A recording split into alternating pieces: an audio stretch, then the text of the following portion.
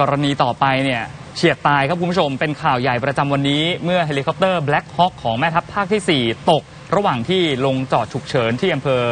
อ่าเทพาจังหวัดสงขลานะครับเหตุการณ์นี้ส่งผลให้มีผู้ได้รับบาดเจ็บ 7 นาย ไปดูจังหวะที่ชาวบ้านเขาเข้าไปให้ความช่วยเหลือกันครับ ลงหมดเลยทำหน่อย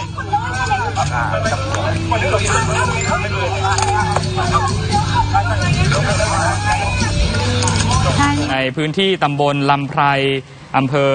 เทพาจังหวัดสงขลานะครับก็เข้าไปช่วยเหลือผู้ได้รับบาดเจ็บ จากเหตุเฮลิคอปเตอร์ Black Hawk ของแม่ทัพภาคที่ 4 ตกระหว่างที่ลงจอดฉุกเฉินเนี่ยต้องลากตัวออกมาพยายามนำตัวมาจากเฮลิคอปเตอร์ คลานกันออกมาแบบนี้อืมคือฮอลำนี้เนี่ยร่วงลงมาช่วงเช้าที่ผ่านมานี่เองนะครับ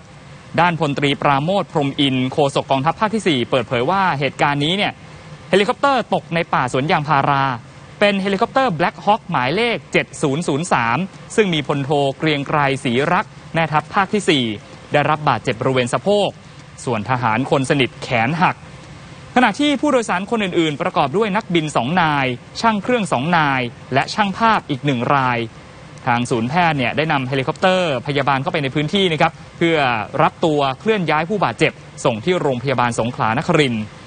ทางนี้เฮลิคอปเตอร์ลำนี้มีความผิดปกติครับ แล้วนักบินเนี่ยพยายามที่จะประคอง แล้วก็ลงจอดฉุกเฉิน แต่ว่าจังหวะนั้นเนี่ยมันเสียหลักนะครับค่ะเฮลิคอปเตอร์ตกลงมากระแทกกับพื้นอืมส่วนสาเหตุที่ลงจอดฉุกเฉิน ตอนนี้เจ้าหน้าที่เขาเอาผ้าใบเนี่ยไปขึงรอบบริเวณที่เกิดเหตุเลยนะครับ กั้นไม่ให้คนที่ไม่มีไม่ได้มีส่วนเกี่ยวข้องเนี่ยเข้าไปตรงนั้นเด็ดขาด เดี๋ยวรอให้เจ้าหน้าที่เข้าไปตรวจสอบ หาหลักฐาน หาสาเหตุกันต่อไป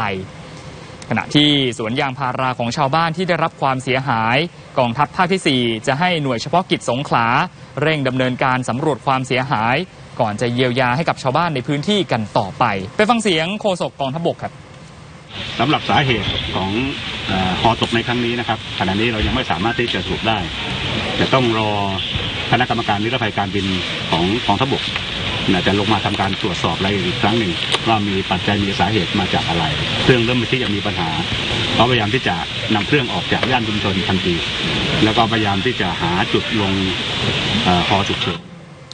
พลเอกคงชีพตันตระวานิชโฆษกกระอ่ากระทรวงกลาโหมยังเปิดเผยนะครับว่านายกแสดงความเป็นห่วงแม่ทัพภาคที่ 4 ในฐานะผอรมนภาค 4 พร้อมกับนักบินและเจ้าหน้าที่ที่ประสบอุบัติเหตุจนได้รับบาดเจ็บ นายกก็ขอเป็นกำลังใจให้กับผู้บาดเจ็บทุกนายนะครับ และสั่งให้เข้าไปช่วยเหลือดูแลผู้ได้รับบาดเจ็บให้ดีที่สุด ส่งโรงพยาบาลในพื้นที่ แล้วก็ให้พิจารณาความจำเป็น ถ้าเกิดต้องเคลื่อนย้ายไปเข้ารักษาตามความจำเป็นต่อไปค่ะพร้อมทั้งขอให้สอบสวนและตรวจสอบสาเหตุของอุบัติเหตุครั้งนี้ โดยเข้าไปเก็บกู้เฮลิคอปเตอร์ในพื้นที่ เพื่อพิสูจน์ทราบตามหลักนิรภัยการบินด้วยครับอืม